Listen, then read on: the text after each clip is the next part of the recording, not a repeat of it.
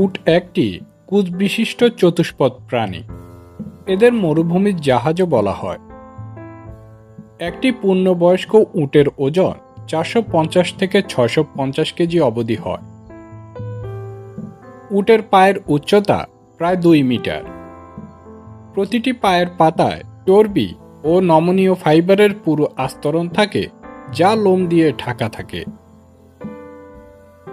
উটের পায়ের পাতা দেখতে অনেকটা জুতার সোলের মতো বলে একে সোল প্যাডও বলে। এই সোল প্যাডের কারণে উট প্রচণ্ড গরম বালির মধ্যে অনায়াসে হেঁটে যেতে পারে।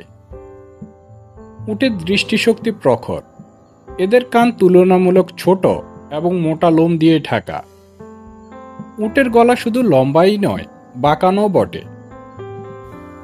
মরুভূমিতে কম উচ্চতার বেশিরভাগ কাটা ঝোপ হয়।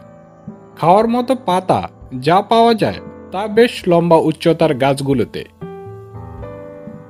উটের কুজে খাবার ও পানি জমা থাকে।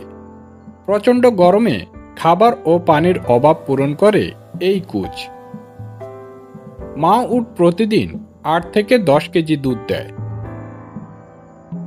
উট প্রথমবার একটি বাচ্চা দেয়, দ্বিতীয়বার থেকে দুই থেকে তিনটি করে বাচ্চা দেয়। একটি উট সারা জীবনে পনেরো থেকে বিশটি বাচ্চা দিতে পারে। অনুকূল পরিবেশে একটি উট পঞ্চাশ বছর পর্যন্ত বেঁচে থাকতে পারে।